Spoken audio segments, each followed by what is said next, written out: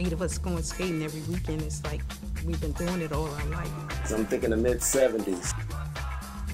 We're going back like maybe 40 years. So many rinks were available then. So we would almost skate five nights a week if we wanted to. Where's my energy? Where's my energy? Where's my, there's my energy. Energy in the middle.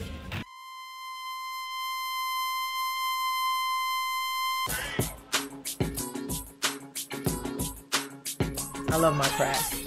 Um, anybody who knows me knows that when I'm there, that's my world. I love the music, and I love the energy that everyone had there, and I could do it by myself. You know, the passion stays the same.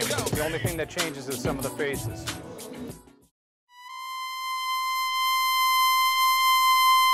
I left the skate scene probably in about 98 to pursue my DJ career a little bit more.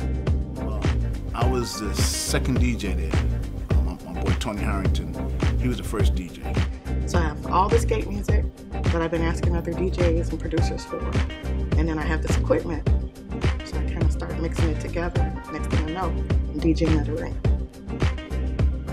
A friend of mine named Rap, his name is Anthony Fleming. He said, yo, Big Bob, man, you're a, you're a good DJ. You ever think about playing for skaters? Um, I'd like to see it come back the way it was in its heyday.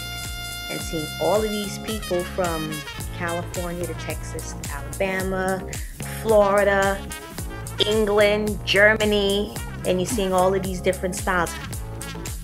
There's a lot of people that are looking to get better now.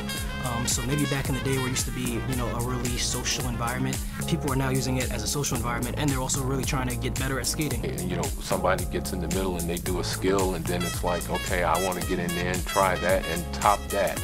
And, you know, that became a, uh, a, a, way of uh, acceptance in the skate world. Things go in cycles. So I will say this the skaters today, the one area that I say that they have far exceeded anything I've witnessed in all my years of skating is the spinning. Man, these guys spin like they were born in a washing machine or something. Like